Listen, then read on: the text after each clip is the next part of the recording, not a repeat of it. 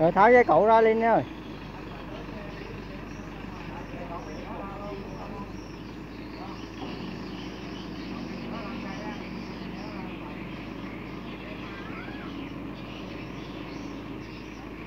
Lấy dây ngắn đó kìa, lấy dây ngắn đi đó.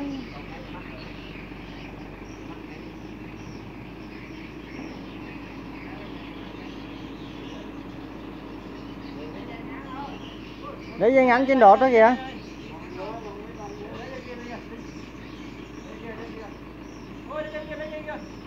Coi tuột ra nghe.